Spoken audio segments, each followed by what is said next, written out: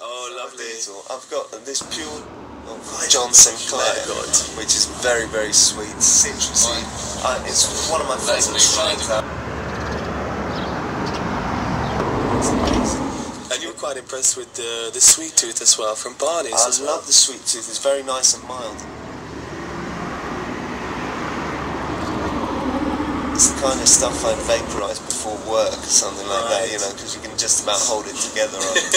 but the John Sinclair is much more powerful. It's like it's almost like a tastier version of sour diesel. It's much sweeter and not quite so bitter and, and tickly on the throat.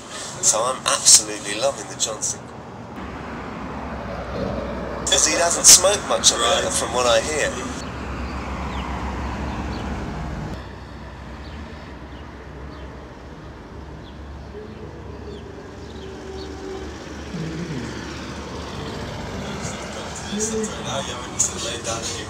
Exactly. No, I know, but you know, when it's just such good reads, these things just start flying into my brain and I have to say them, you know.